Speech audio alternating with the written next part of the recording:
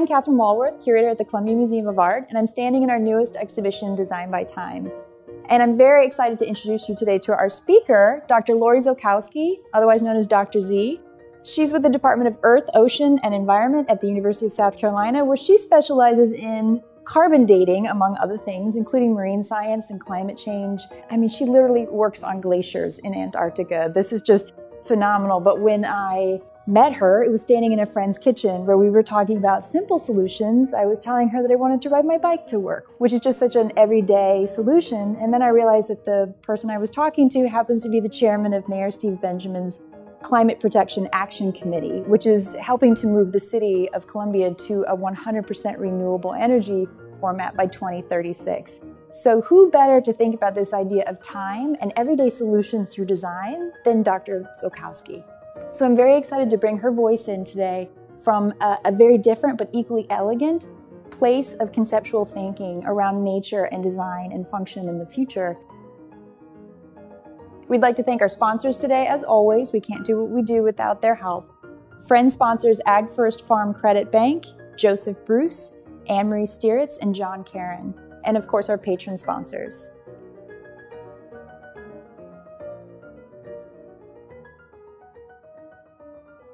I'm very excited to present to you Dr. Lori Ziolkowski. Thank you so much for having me, and it's a real honor to be here today to, to give a science talk that goes along with the Design by Time exhibit. So my talk today is called On the Anthropocene, and I'm Dr. Lori Ziolkowski from the University of South Carolina. And so really what I'm going to be talking to you about today is basically about some snapshots in Earth, Earth's history that really talks about both the vulnerability and the impact of life on Earth. And hopefully you'll see throughout this talk how this ends up relating to my impressions, at least, of the exhibit. So what is the Anthropocene before we get too far? Because this is a term that you may not have really heard of. And essentially, it is a theoretical or proposed new geologic era that is being uh, going to be demarcating essentially humans' impact on the geological record. So theoretically, a lot of people say we're still in the Holocene, which is the period since the last ice age up until now, but we maybe have done enough to change the planet that we have now moved into a new geologic time, and that's the Anthropocene. So if we look back further in geologic time, what do things look like? So the Earth is about 4.6 billion years old. And when we look at its history through time, we often think about the fossil record as its demarcations, or basically recording the differences of what's happened over time. And for the first 2.5 billion years of Earth's life, or of life on Earth, there wasn't really that much life on Earth, and that's why you don't see many, fossils in the Earth's record. Whereas if we move um, more modern, that's going up in the geologic record, you start seeing differences in those fossils.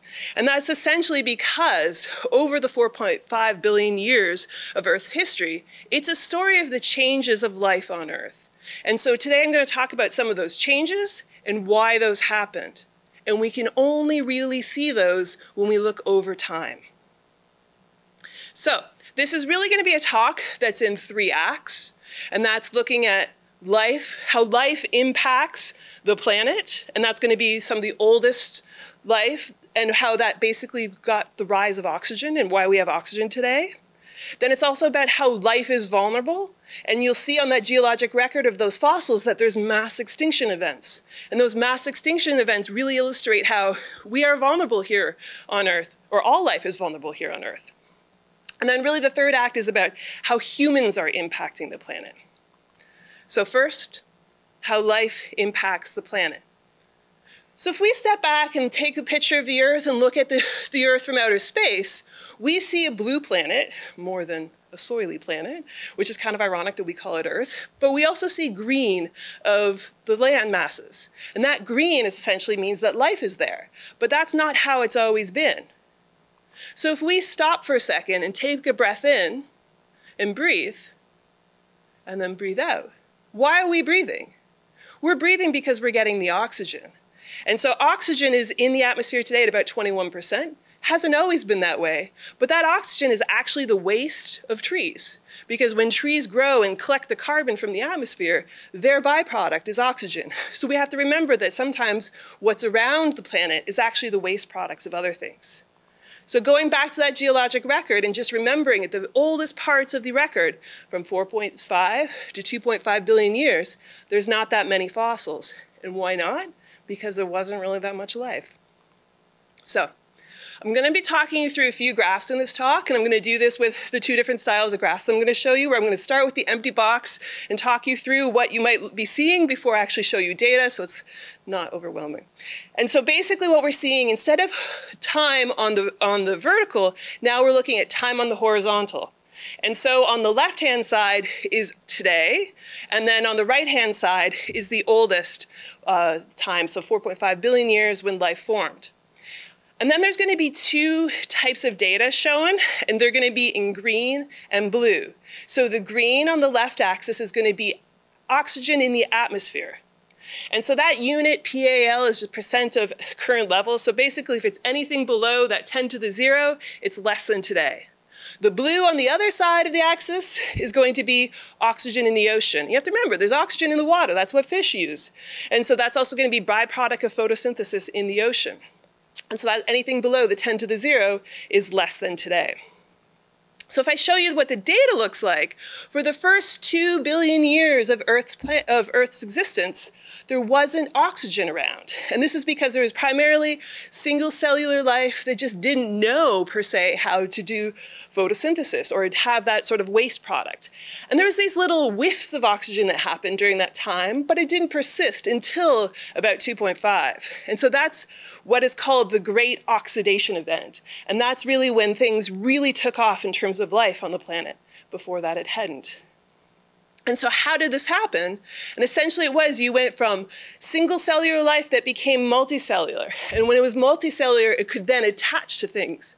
And so it could attach to things like these stromatolites. These are from Western Australia. And these are actually where they think that some of the earliest life formed. And once you had that, it, it could attach to things that were close to the surface of the ocean, where it could have enough sunlight for photosynthesis.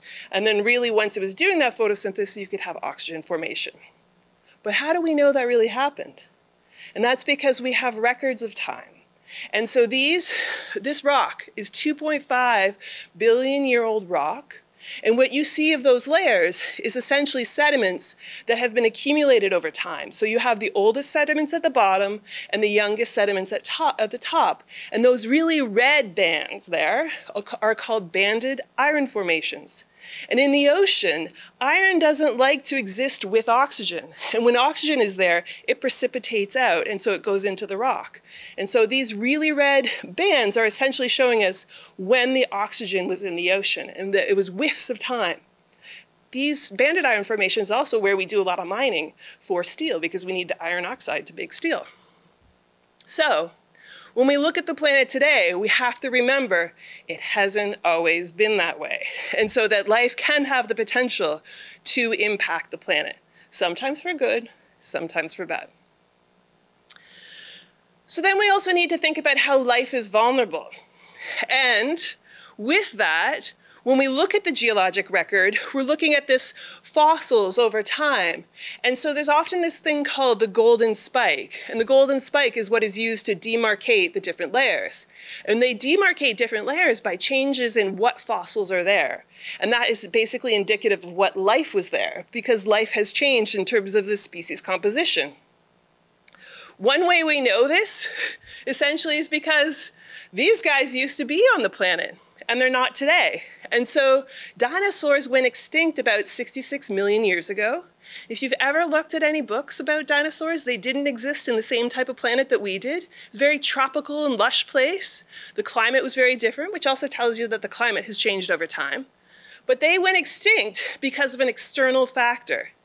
And essentially that there was meteorites that came from outer space that were a little intense. Basically, they hit this certain part of, of Mexico that left this giant impact crater. And the material from that crater basically went up into the atmosphere and caused big changes to the climate, which then killed a lot of the animals on Earth. And so it was something that was external that caused this species extinction. It has also happened at other times in the past. And so I don't know if you've ever looked at Google Earth or anything like that, but in northern Quebec, there's a large crater feature that was also came at a time in the past, about 215 million years ago this time. And this giant impact crater may have been part of another species extinction that happened in the past. And so we just have to remember that there's outside factors that have in the past come and really changed things. Sometimes there's also been volcanoes that have changed the atmospheric composition, which killed things. But now we're in a different period. And so what you're looking at here is essentially North American megafauna. And so when there was the last ice age, around 25,000 years ago, these were the animals that existed in North America. These are not the animals that you see in North America today. And what happened essentially is that humans came to North America. And so around 14,000 years ago, as the glaciers were retreating, humans came to North America via Asia. And when they did, they were, um, came as hunters, but they also brought disease. And so between these two factors, all of these megafauna have essentially gone extinct. So this was some of the first evidence, basically, that humans have the ability to impact the planet. So, to that end, how are humans impacting the planet today? So we might know this through looking at certain snapshots in time. And so this is 1871 in London. This is a Monet painting. And so basically he's some might see this as fog, but this is really during a time when there was lots of coal burning that was causing lots of detrimental health effects, and people were starting to realize perhaps it wasn't the best to be doing this. Today, we see things slightly differently. And so that some of the pollution that we have might be persistent in everywhere, and that it's things that we have made that are part of our everyday lives, but we don't know necessarily how to do better about it. So now is another set of graphs that I'm going to show you, much shorter period of time. We're going to be looking at 1750 through to about a decade ago. And it's just because that's when this original data set was published. And I want you to think about all the things that have happened over this time period in terms of how society has changed in order to look at the data I'm about to show you.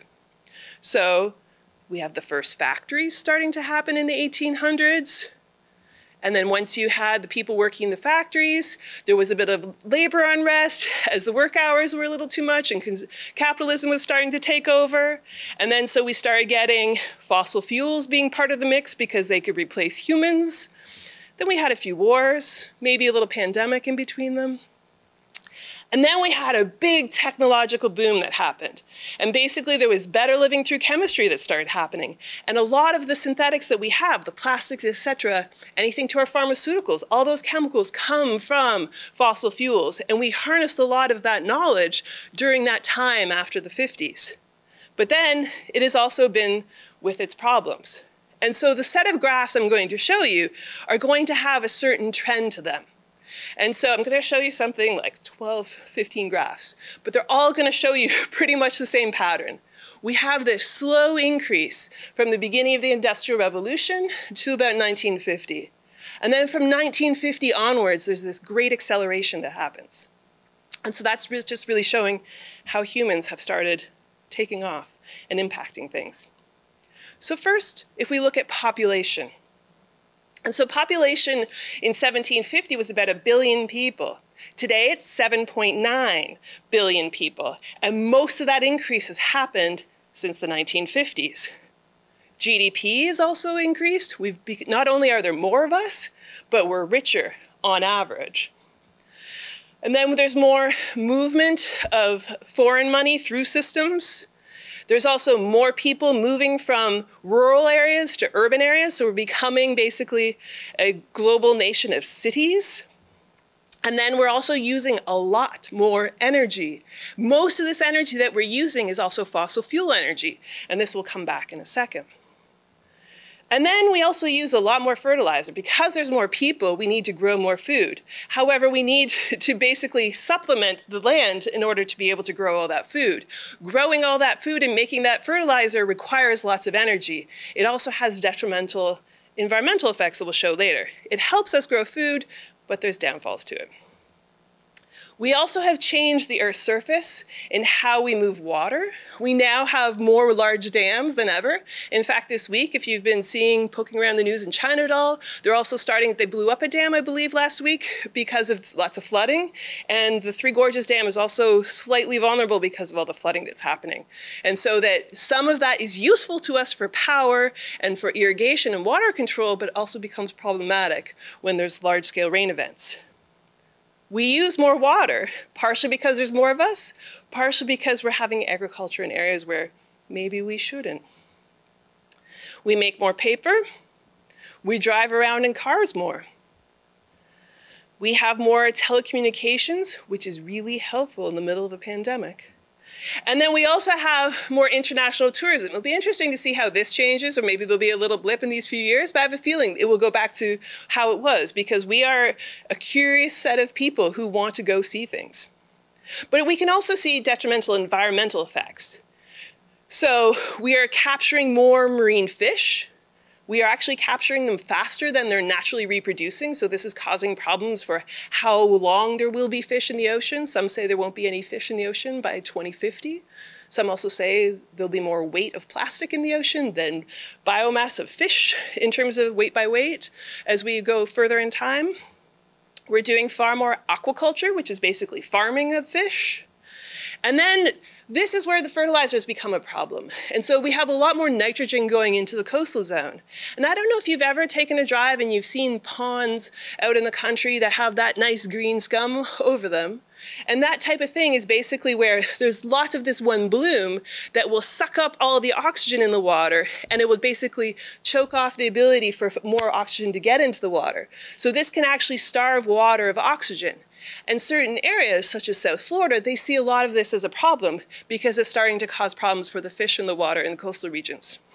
So the more we add fertilizer, the more it runs off of our land, the more it gets into the ocean, and that can be problematic. There's also loss of tropical forests. And then we have domestication of land. There's less wild land. What I'm not showing you is also the difference between how much we have had of wildlife and domesticated uh, animals. And essentially that we have far, far, far more domesticated animals by mass than we do of wild animals left. And it's partially through our um, love of agriculture in terms of meat. And then, so we also have that there's a lot of uh, degradation of the biosphere. And so this, embedded within this is that there's species depletion. And so this is where we're essentially starting to see that we, you know, in terms of our activities, are depleting the land because there's so many of us. And what I haven't really talked about, though, is how that's impacting the temperatures. This has just been on all the impacts of us being so plentiful and using all these resources. But if you have been paying attention at all to climate change, you've heard about carbon dioxide rising, and how that's going up and up and up. I believe we're at about 410 parts per million now, so no longer on this graph, and we're well above that, and we're nowhere near stopping in terms of our release of carbon. Nitrous oxide is also increasing, and so is methane. This past week, it was also announced that we had the highest methane emissions yet because fracking of natural gas is how a lot of methane is released because natural gas is, a, is methane itself, but there's a lot of um, transient emissions that happen through that process. And so these three essentially make up greenhouse gases that contribute to climate change.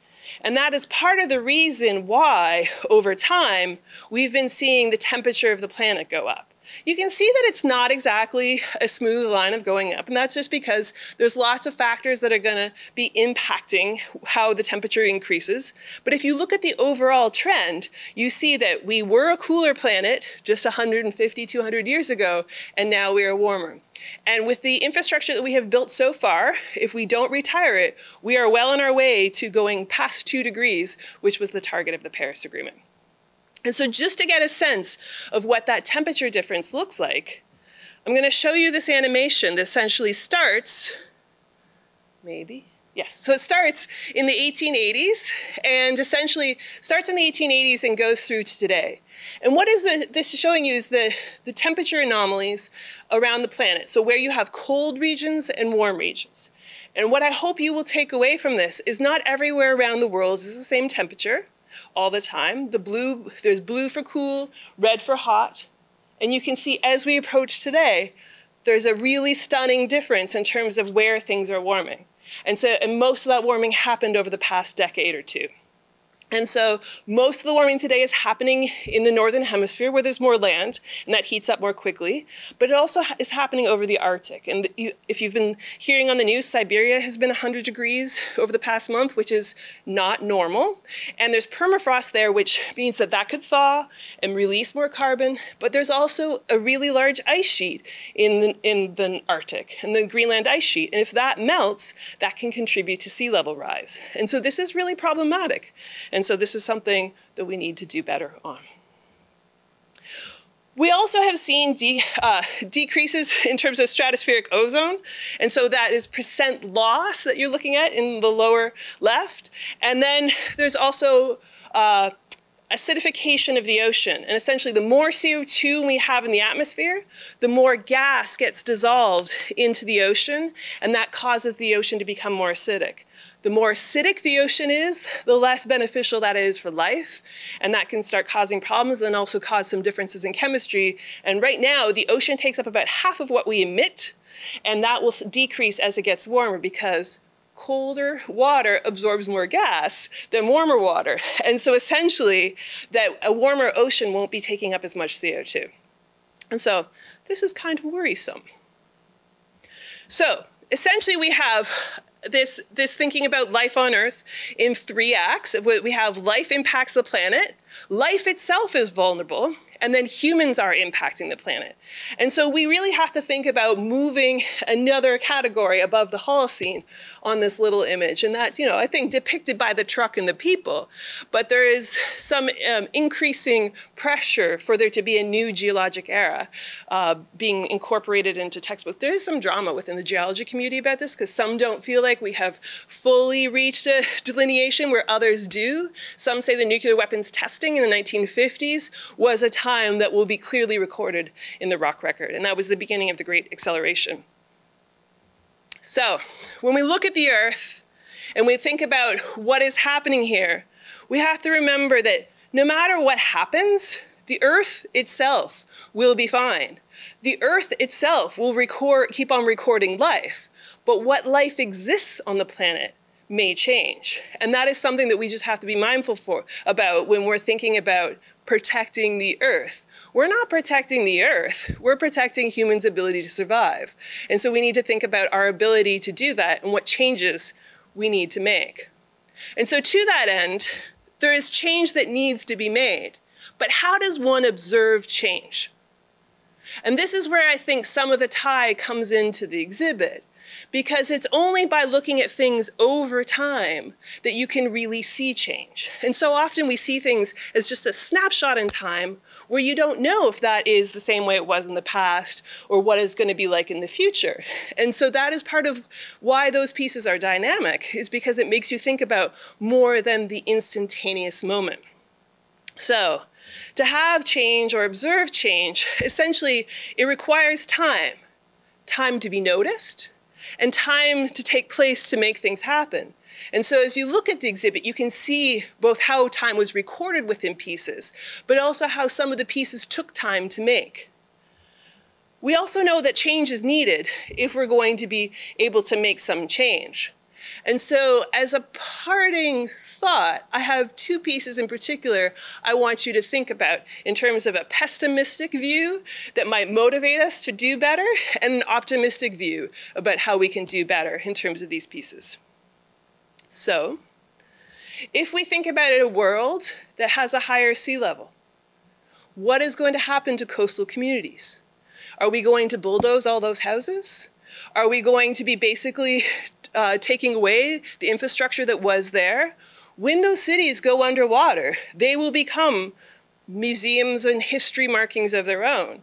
But you can also have the crystallization of the salt in the salt water that is going to form on some of those, those items that are going to be left there. And so this piece makes you think about what is it going to be like when the sea level rises? Will the beach be the beach? Will the coast be that recreational place you go or a relic in history? That is my pessimistic take on thinking about change in the pieces. But what about a positive take in terms of optimism? And here's where I want you to think about what could be. When Catherine was talking about the pieces in her talk, she talked about how the mycelium can be used to make new uh, materials and how it can be anything from packing nuts to whatnot. However, this material of using fungus to grow some new material is actually being used by the fashion industry to perhaps have a new type of leather that doesn't require an animal hide. And so it's about thinking about how we can make new products that capitalize on nature. And it's only when thinking about how in the past we probably haven't done the best and thinking about the long term and how we can do it more sustainably in the future. And so that's just a take that I have on thinking about some of these pieces. And it's only without, only in, if you think about it in time, can you really be able to appreciate where we've been and where we're going and how we can do better. So to that end, I say thank you for your attention and let me know if you have any questions. So while I wait uh, to see if any of you have questions, just because there's a delay in how I'm seeing you versus what's online, there, uh, there was a question that came up that was in terms of, do you think in terms of today's technology, uh, we will be able to predict or prevent another mass extinction, like a meteorite that destroyed the dinosaurs? Uh, can we can prevent that from occurring? And so I think hasn't there been movies made about this in terms of us being able to uh, shoot meteor uh, shoot the meteorites that are coming at us? And so I think that I think it's possible that we have enough technology to be able to prepare ourselves and to be able to protect ourselves from a meteorite that's coming. However, I think it would also be in our best interest if we focused on trying to use some of that technological development on trying to do better things today and solving the problems that we have here. All right, so uh, there was a question oh, from Bob about how can scientists and artists collaborate to create a, a positive future? And so I think that part of what happens sometimes with science is that we get quite isolated in terms of how we look at the science and how we try communicating it. We don't always have all of the best skills in terms of uh, being able to communicate it to a broader audience. So perhaps by being able to uh, do some work with artists and collaborating with trying to communicate the science with through some art pieces or something like that, that it would be able to uh, reach a broader audience and be able to get more people understanding the importance of what the science is. So uh, from, from Larry, there's a question about, am, am I personally optimistic or pessimistic? I think that really depends on the day. Uh, I think that I'm optimistic in some, in some ways about over the past four years, we've really made a lot of progress on it being a topic that a lot more people talk about. Uh, we need there to be more federal policies that really are helping us control some of what we're doing, and we're not having that happen right now. And so that is one way in which you could be pessimistic. However, if you look at, say, the upcoming election, that there already has been talk about environmental issues in terms of something that's very important for it. And that has not been something that's been on center stage in the past. So that is really making me optimistic the more people are talking about it. All right. All right. So there was another question about looking at today's global warming trends. How far into the future will the climate severely impact our day-to-day -day lives? So it's worth remembering that right now, we are fueling everything on the planet through the burning of fossil fuels. Not everything, but I would say probably like 70% of our energy on Earth right now is coming through the burning of fossil fuels. So each year we emit about 40 billion tons of carbon. We are not slowing down, and that means that the carbon is accumulating. The carbon actually stay, will stay in the atmosphere for probably a few thousand years. So what we do today will impact many future generations. And so it's really, really, really important that we start turning things around and that we also harness new technologies to pull CO2 out of the atmosphere. And so there's something you may have heard of that's called carbon capture and storage. And so that's basically where you can capture the carbon that's either in the atmosphere or what's coming out of a coal fired power plant And if we can start doing that, that's one way in which we can start reducing the carbon in the atmosphere, and that will decrease how long things have been around or how long the carbon will be impacting us. So Jacqueline asked, what small step or steps can we do to, to promote a better outcome for the future of the environment? Vote. so really, the, because there's many that we've been all been told that there's individual things that we can do, but there's only so much that you can do as an individual because so many things are built into the system and how we operate. And so you have no control about how you use power from a power plant, and you have no control about how things are structured in terms of your transportation system in general. And so, to that end, what you have the greatest control over is doing as a citizen is being able to vote with the environment in mind. And that is not something that's often on people's mind when they go to the to the ballot box but it is really important because this is something that will end up impacting the global economy. We have seen a lot in terms of the impacts of the global economy due to the virus. However, there is expected to be slowdowns in terms of the global economy as we have to start adapting to climate change. Like think about how much Charleston is spending on having the water diversion program. And so that that type of thing is going to be happening more and more. And so it's going to cost us a lot if we don't start taking action. So voting is really important.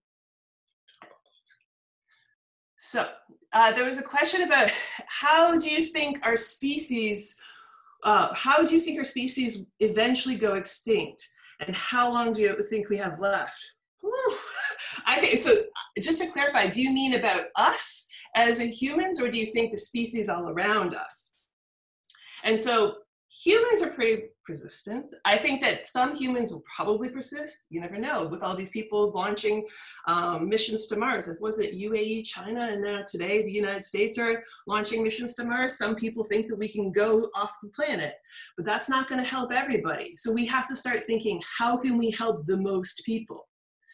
And so how can we do better to help everybody?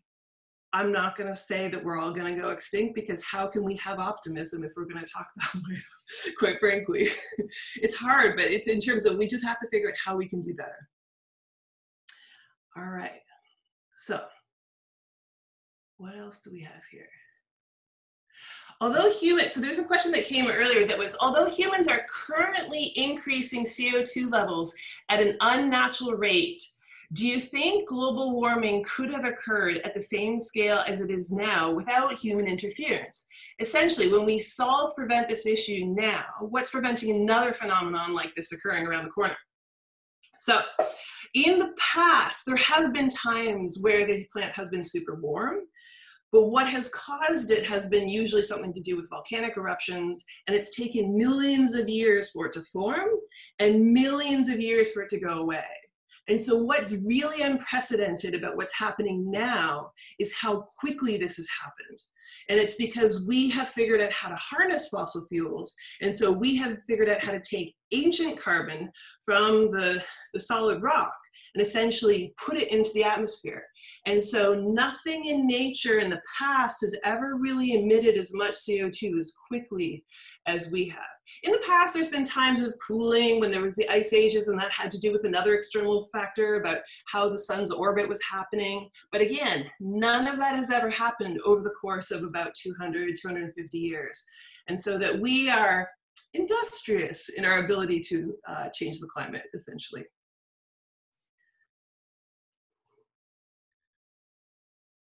Okay. So there, and then earlier there was another question about what is the number one recommendation that someone can do to uh, make a difference about increasing increasing with climate change or making a difference with climate change? I still iterate voting. And then that is the number one difference that people can make. Hmm? There, and so there's also if you if you really feel compelled to do things to to uh, as as an individual to make things better, you can basically change how you use carbon. So that is flying less, that is driving less, that is thinking about what agricultural you, you use. So are you buying the vegetables that are off season from South America? Or are you buying your local things? Are you eating meat? Because how does everything get um, made in terms of every time you go up the food chain, you're losing energy. So a cow has to use a lot of energy in order to, to um, you're losing energy as you go up. And so eating, eating a meat-free diet can make a difference. All right, so there's a question from Maisie about how can the CO2 capturing machines you mentioned earlier safely store the, the gas from re-entering the environment? That's a great question.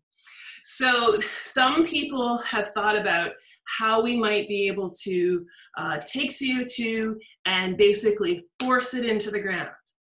Most techniques in the United States that are using this, well, there was really, there's only really one power plant that's doing this right now. It's Petra Nova, and I believe it's in Louisiana. And they were basically capturing CO2 from a coal power plant, and they were using it to force the CO2 into the ground and get more oil up. It's a concept called enhanced oil recovery. That is not really helping us in terms of storing the CO2. And so some people have thought if, we can put it in deep aquifers, that's one way you could store it. There are also some groups who are working on trying to make it into composites, uh, like a type of plastic or something like that, that will be stable over time. And so the hope is that perhaps if we can figure out how to store that carbon, convert it from a gas into a solid, that that solid will, will be stable over time, that hopefully that will be a way in which we can store it and make it so it doesn't return to the atmosphere. But this is the trick because we've been really great about emitting billions of tons of CO2 each year to the atmosphere. So how do we actually reverse that? And so that's the challenge. What else do you want to know about? oh, so you can tell us, can you tell us a little bit about things that people have started to design to combat climate change and how design can play a crucial role in sustainability. And so they were bringing up the question in terms of thinking about um, with the great uh, garbage patch, and so are there ways that we can remove things? And so one, we can think about ways in terms of just altering climate. So we've already talked about how to suck CO2 out of the atmosphere. And so that is one way in which you can reduce the impact of CO2. And the other thing that is happening is that we are also able to change how the temperature is uh, being, how we feel the temperature on the planet. So pretty much all the heating on the planet happens through the, the incoming solar radiation, so what we get from the sun. And so is there a way in which we can basically uh, dim the sun slightly so that we see less of the sun and that heats the planet less. That's the concept called geoengineering. And so we see that naturally when a volcano erupts, or like say when the meteorites hit and, the, and there was the dust in the atmosphere. And so when a volcano, certain volcanoes erupt and you get aerosols in the atmosphere, that essentially provides a sunshade. And so there are many scientists right now who are working on whether or not we can um, whether or not we can uh, whether or not we can shade the earth from the sun. And so this is the geoengineering is basically putting fake volcanic eruptions into the atmosphere. There are currently no global rules about this, and it is currently pretty much the cheapest solution to climate change right now, $2 billion, which is what, one of those stimulus bills right now, that would be enough to cool the planet by a few degrees over a few years. There are downfalls. You won't see the stars, might cause some acid rain, and over those few years, we might get some temporary cooling, but later, uh, that's gonna cause some problems because it's going to have, uh, will rebound unless we put more sulfate aerosols. So this geoengineering concept is something I encourage you to go look at because it's likely to be the thing that will be used over the next few decades to cool the planet while we have enough technology to get us fully off of the carbon. So on that slightly apocalyptic note, I will uh, say thank you very much uh, for coming and uh, thank you very much for your questions and your curiosity about this feel free to contact me if you have more questions, and uh, I hope you have a nice night.